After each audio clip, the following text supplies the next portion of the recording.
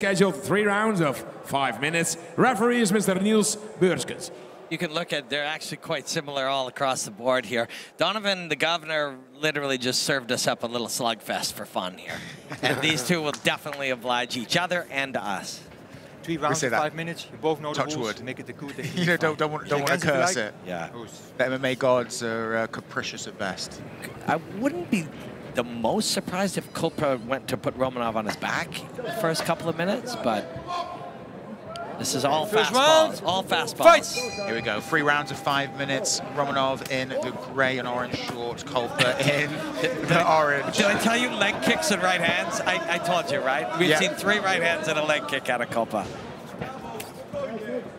Started the fight with a beautiful leg kick, a nice overhand right. So, yeah, it looks like he's got the makings of a good one, lads. Yeah, it's going to be fun. And they're going to have fun in here. There's the right hand. Four right hands and three leg kicks from, from the big man. So fun to watch. And he feels comfortable 30 seconds in. See if Kulpa does try to take him down at some point. See, it's all... Oh, there was a jab. He threw one. There you go. We've uh, we've at least ascertained he's able. Yeah, five right hands and a jab. And trading leg kicks again. This is uh, harkening back to the Saper Roland fight in the uh, early prelims. Leg kick, leg kick, leg kick, Yeah. leg kick. They just smash each other. Take the bone of your foot, use it as a baseball, the bone of your, of your shin, and use it as a baseball bat. Smash the meat. There's a left hook right hand by the big Viking.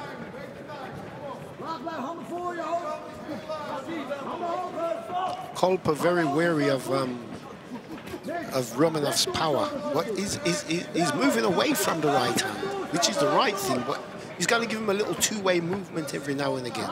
Yeah. A little bit more feints to draw a little bit more leads off Romanov and look to capitalize with his counter strikes. But apart from that, as I say, this has got the making of a very interesting fight. Just, it's in, it's in this, the bringing together these particular flavors that's making this soup so tasty. Just, just batter each other. Romanov a little bit um, stationary, could do with a little bit more movement. Did he target the sternum there, coach, just to track him down? Maybe, yeah, I see it looks that way, but obviously he's looking he's looking for that overhand right. Starting to show it a little bit too um, obvious now. Um, age now does this creep in, does this become a factor where um, Kupla can um, you know capitalize on it, you know, because it looks like um, Romanov, like I say, he's coming a little bit static and just come down a gear now, hasn't he? Yeah, and, and Kulpa's thrown quite a few of those teep kicks, Yeah. kicks to uh, Romanov's gut, and that's going to just wash the air out of you. And You know, wouldn't be the worst idea for Kulpa at, with two minutes remaining, minute, you know, 90 seconds remaining, to try to put Romanov on his back. You've kicked his body. Yeah, there it is. Kicked his legs. You kicked his body. Now let's see if we can put him on his back. He, Watch out, watch out. Brown. yeah, he got him right in the groin, but look who ends up on top. Oh, no, he's going to get his back taken. It's going to be right hand city right here. As soon as he frees that right hand, he's going to start throwing it. A lot of breathing. You can hear it. you can hear through the referee's headset. There's left hand city instead. Looks like he's trying to... Oh, no, sitting there and just happy to pound away. Uppercuts under the arm. You can't see those coming, so they kind of shake under your chin. They're unpleasant. Short left hands. Now he'll reach through, try to control a wrist, maybe. But no, goes for the neck. Yeah, it looks like he's trying to lift him and take the back a little bit, but also per perfectly happy to stay there and just wail on Romanov. Yeah, nothing wrong with just putting your hip on his and punching his face, get the odd knee in the guts. Got one or two of those to the back of the head, but he, he adjusted. Yeah. Romanov needs to look to get out of this position because the longer he stays there, the more damage is going to be inflicted on him.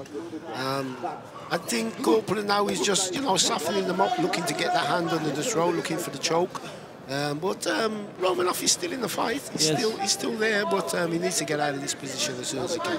Yeah, and if you're uh, your Kulpa, you want to finish in these 45 seconds, so you do want to get that neck in the next 10 or 15 on, if you guys. can. But Romanov is was just riding wrist control there as best he could, but Not the back, not the back of that. yeah, he is absorbing quite a lot. But he's getting up now. He's up.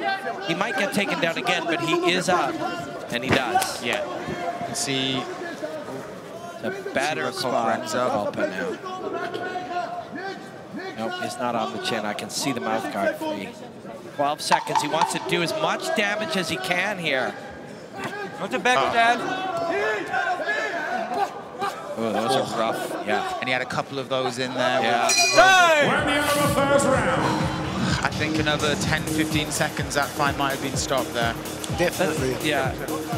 Kulpa's not thrilled, but he's also like, okay, man, I got a Watch minute out, to rest. I'm going to throw hard right hands for a minute or two after that. Yeah, and that was a draining, what, almost two minutes of Romanov just being on the floor and just eating. Even if they weren't like the biggest shots, they still hurt. They still take a little bit out of you, and there were a shed load of them raining down from Coldwell. I- My I- friends don't know where I am. You 'cause know, I got my drugs from Amsterdam. The, the plan it certainly appeared to be, and, and if it was, it was very smart. We're going to spend a couple of minutes kicking his legs and kicking his body whenever we can. And if he slows down a little, we're going to take him down. There, he almost got reversed there, but he was able to get the back. And this was a vicious couple of minutes and got him the round and got him some damage. Okay, seconds out. Picture? Here we go, second round about to start. First one, I think we can all be in agreement seconds that out. Kulpa won, most likely a Yeah. 10-9. Yeah. Romanov was having some moments in the first couple of minutes, but but Kulpa's been managing the fight very wisely.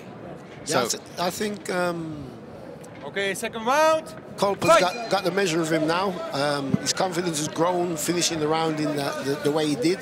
And if you noted, um, Romanov was complaining to the referee when the round ended about the, um, the strike to the back of the head. So is that a sign of distress? Um, And look, you can see he's, he's, he's, he's showing the right hand too much. He's not setting it up. Like you say, you know, his jab's non-existent. He needs to be feeling, nudging and faint if he's looking to set that right hand up. But he's not. He's just stationary, hoping um, hoping that Pulaf will stand still enough for him to deliver that right hand, which he's not. You know, so there you go again. He's just trying to throw, and that's basically his main weapon from um, Kupla can nullify that. I don't think there's much um, Romanov has got. It'll be intriguing to see at what point Kulpa shoots again for a takedown because he did. Oh, referee got away a little bit. and Gotta get- and that's his game. He just got to get a couple in. But then he, once they're in, Kulpa now goes chest to chest, takes away the gap, and he's going to try to take him down in this sequence. If he does, of course, got a lot more time now. Four minutes instead of two. Takes the back, shucks under. Oh, no. Romanov works to get this overhook and fight from there, but he's actually spending a lot of energy. Someone's opened up here. I think it is. I think it might be from. Uh, I think it's Kulpa probably Yeah. from one of those shots that he ate with uh, Romanov coming into it. Right. There, back now. He's got the back. Go, you go ear to spine here. Kicks the, No. kicks the foot out. Viking grabs the fence. No holding, holding. This is smart stuff here. Just be heavy No on him. It's going to be tough to finish Yeah. here with all Kulpa's blood all over and making him extra Yeah, Back, slippy back, and not the back lubricated. Interestingly, third time now he's called for back of the head, yet not Yeah. a point's been taken off. So with him flat now, he could get the choke. He can also pound, although Romanov is at least partially up. But no, he's back on him. You can go knee to the, um, to the, there it is. There you go. He uh, heard what you were thinking there, Robin. That's that's a real rough one. Well, this the is how- latissimus dorsi does not like being kneed like that. This is how uh, Chris Fishgold uh, lost his last fight, his debut for Yeah. LFL with a. The, these are big, and Romanov Yeah. not doing anything They're about rough. They're rough. Yeah, I think the gas is slowly Yeah. starting to leave Romanov Those now. knees certainly, those knees certainly add. it. The referee's looking Yeah. closely. Fourth time, not back of the head. Yeah, yeah. I mean, at some point, yeah, you have to stand him back up. That's Fifth. five times now. You have to stand him up and uh, take a point. I think Kupla should go back to using that knee to the body, Yes. you know? Um, Yeah. that's softening up, taking the steam out of him. Um, you know, there's a possible finisher to the fight if he gets in the right spot. Sixth time he's told him. Yeah, at the minute, why? If you're Kulpa, why would you stop? Yeah, of course. There's no And- no reason no, no reason not to. And, and you can't be mad because you have to deal with what you have. There, those, I mean, that there he elbowed him hard from underneath. You know, a surfer doesn't complain about the wave or, or spend any time wishing for a different wave. You surf what you have, and it sucks when the wave is unfair to you. But there, I mean, that's just the back of the head. Kulpa should get those knees to the body going again. Not the back, not the back of that. yeah. that's now nine times he's he's said it. Um, I, I'm I tend to try to avoid being critical of a referee, but that's too many. You know? There you go. It's time to get them knees working again. But, that- yeah. again, like like you said, Robin, I think um, the referee needs to be a bit more stern. I mean, you know, I mean, how many times has he warned this guy hitting him to the back of the head? Yeah. When do you stop him? When do you Yeah. take a point? Yeah, and stand him back up and and Come on, action, guys. If he doesn't finish him in 50 seconds here, uh, he's going to stand back up and have another moment. But Kulpa's fought a very smart fight. yeah, I mean, especially considering what he's what he has, you know. If you don't, if you can get the sense that, I mean, it's not like he continually is like, I'm just going to hit him in the back. He's trying to find any angle in, and he's doing a bad job. He hit him there a few more times. But if a ref is going to nine times just say, not the back, not the back, not the back, it's not your fault. It's, you know, this is the wave. This is the wave that the, that the sea has presented, and both of you have to ride it. Precisely. But as to Coach's point, if he kept on throwing the knees to Romanov's Yeah, body, over. his arms would have Yeah. also had to drop down. Then you can attack the head. Time! Yeah, the referee's been a little bit too lenient for my liking. Um, Romanov still showed that he's still in the fight because as you see, he was trying those back elbows a couple of Yeah. times, but uh, those knees was having massive Yeah. effect. It was taking him, take obviously you're you're scoring points. Their knees to the body, which is taking the gas out of you. And Romanov now, I think, obviously the first two rounds. Pulov has won them hands down. Yeah. Um, All right, he sustained a cut, but now um, Romanov has definitely got to come out gambling now. Um, should he get put back down to the ground? I think watching the fight, um, Kupla will stop him. Agreed. It can't be Yeah. too much more. He's really dominated on the ground and with a little bit more savvy, he probably could have finished the fight in, in the second. Final round of this fight. Look at Romanov Okay, there. Yeah. Big Some- grin on his face. You know, we, we, we were talking earlier, and Coach was talking about learning and examining your game and going back and changing as a result of your experience and your self-analysis. And that's true of the of the top fighters. That's true of the people who are trying to be the greatest. Um, but some people are just off on a weird trip, man. Like some people are off on an adventure, and uh, that's what this man's on. He's on Okay, an final adventure. round. they just you know? want to ride Fight! those They- waves. Yeah, yeah, he's riding waves.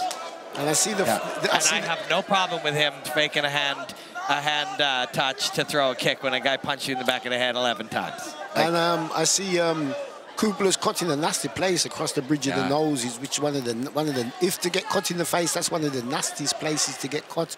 I know over the eye cuts can be nasty, leaking into you, but when you get cut across the bridge of the nose, it's it's a, it's a horrible cut. It's um, you know, It stays gaping. Yeah.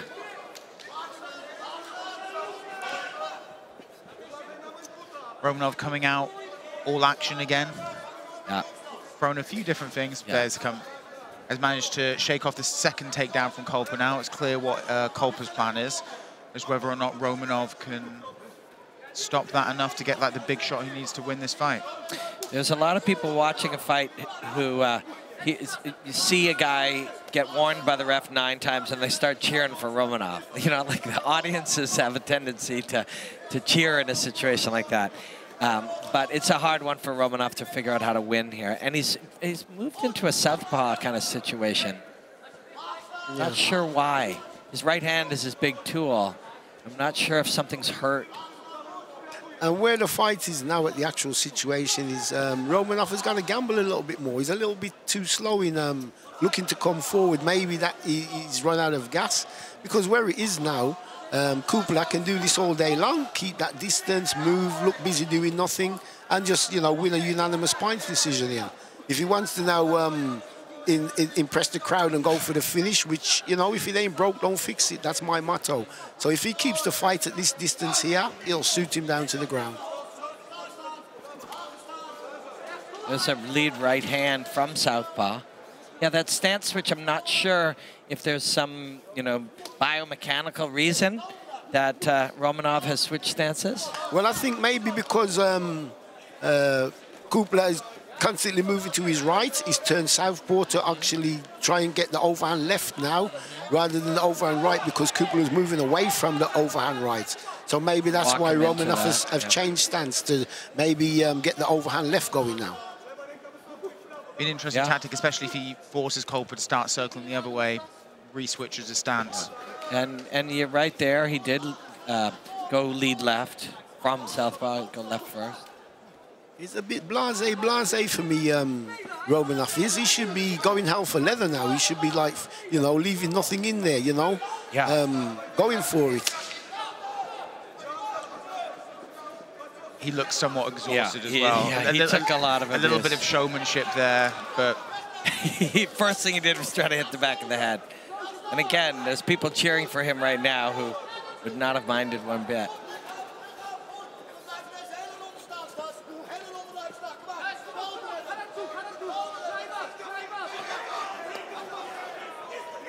And Kupla's starting to look, um, he's slowing down a little bit Yeah. now. Uh, and that's giving um, Romanov getting his tail up a little bit. Uh, so he went for a shoot a while ago and it was from far out. And um, to me, that's a sign of exhaustion. Um, but, you know, I mean, where the fight is now, I, as I said, I think Romanov should be gambling more, pushing the issue, looking to close the distance, maybe with a double jab, a double feint, and get in there and go hell for leather. Yeah, because Kulpa's going to win otherwise, right? And he knows that. That's why he's running. yeah, just circling on the outside.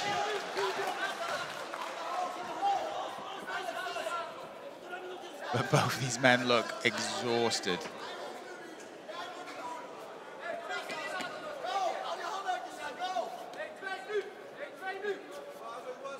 And when you're tired, this is when more so you've got to keep your shape together, be more aware because when you're tired, you tend to hands come down. As you Yeah. can see now, both fighters low, hands low. Um, you know, susceptible to big shots like that. You know, any, you know, uh, Romanov now knows that instead of telling him let's stand and fight, Yeah. he should be making the fight by you know closing the distance with fast feet. You know, looking to um, close the distance with that, as I say, that double jab step, um, that double feint step, and then going in there and just go for it. And he's doing that now, but there's only 30 seconds, 20 seconds now remaining. So he's got to run. But he's walking in dangerously with low hands, so he can walk onto one himself. Yes.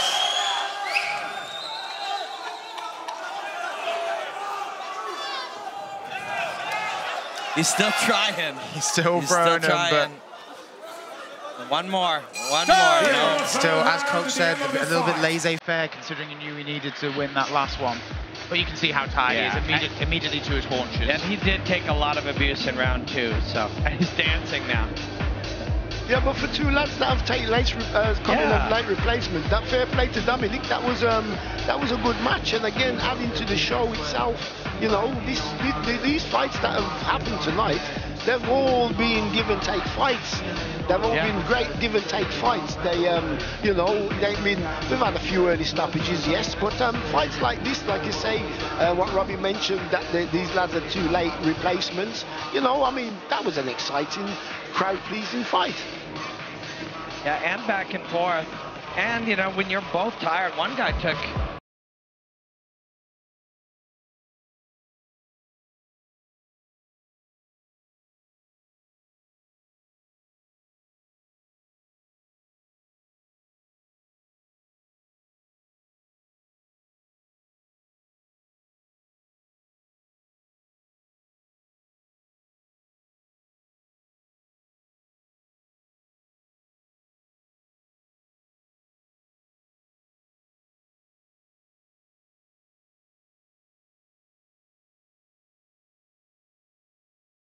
Ladies and gentlemen, your applause for these two fighters, Stanislav Romanov and Lukasz Kulpa. When after three rounds of five minutes, we've counted the points and we have a winner. And the winner is the man in the red corner, Lukasz Kulpa. When also appreciation for his opponent, Stanislav Romanov. Two big men. short notice. And they did what they came to do. They both did what they came to do. Yeah. Kulpa uh, in those first two rounds really controlled the fight.